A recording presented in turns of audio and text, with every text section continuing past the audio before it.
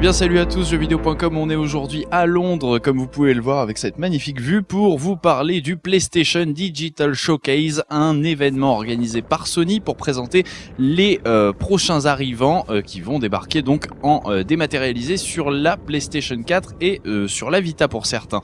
On a choisi de vous parler de quelques jeux, voici le premier, donc c'est Bound, euh, un jeu signé du studio Plastic qui était déjà connu pour Datura, un jeu PS3 assez, assez étrange, et bah, ils n'ont pas changé, en fait ils vous font aussi une histoire assez psychédélique, on incarne une, genre de danseuse de GRS sous acide euh, qui va ainsi danser dans des environnements complètement déstructurés, euh, ça mêle plateforme euh, et euh, third person adventure, c'est assez étrange, l'univers est vraiment envoûtant et inquiétant, c'est une ambiance vraiment particulière.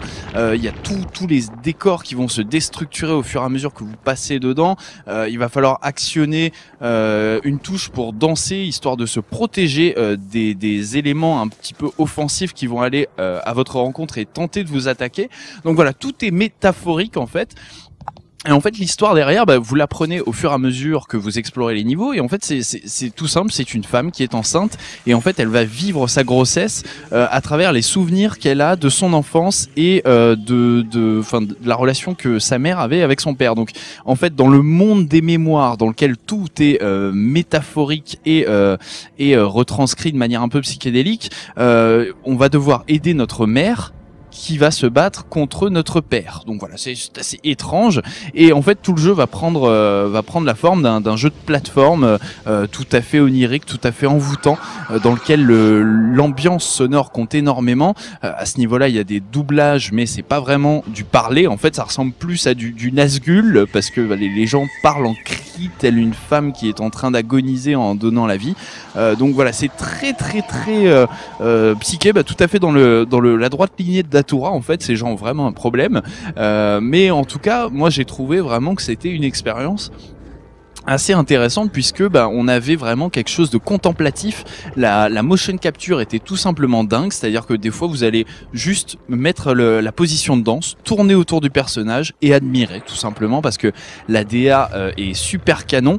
Euh, la, la comment dire le, la bande son est euh, tout aussi euh, jolie et envoûtante.